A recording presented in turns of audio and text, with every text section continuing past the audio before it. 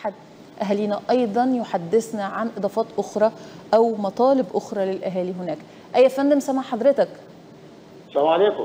عليكم السلام ورحمة الله. من 15 مايو المجاورة الثالثة به أهلا بيك. اتفضل يا فندم. طبعا طبعا إحنا بعنا اللي ورانا اللي قدامنا وإحنا اشترينا شقة في 15 مايو عشان عندي طالبة في كلية الطب في الجامعة الأهلية.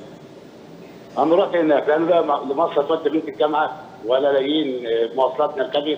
ولا أي خدمات لا في- لا في صرف صحي ولا في ولا في مواصلات داخلية ولا في تليفون أرضي ولا نت عشان طبعا طلبه طلبة جامعة ومحتاجين بالنت أكتر من أي حاجة.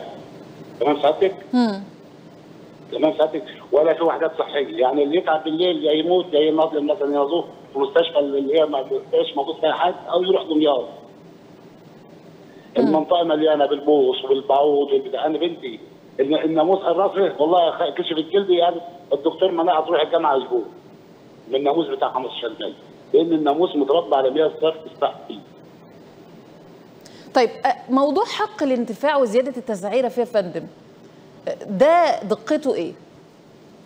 أنا لما أبقى شاري وأروح عشان أودي بنت الجامعة كل يوم توك توك ب 40 جنيه ادفع انتفاع كمان الترتيب اللي اللي أنا عملته أنا بعت بعت املاك كلها عشان أشتري شقة عشان أسكن جنب الجامعة. وجنب الجامعة ومش لاقي مؤخر تطلع بنتي من ال- من المدينة توديها الجامعة.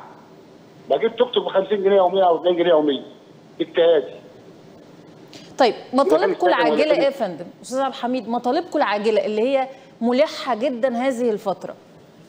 مرخصين 50 ميكروباص اللي هو تبع راكب تبع مجلس المدينة.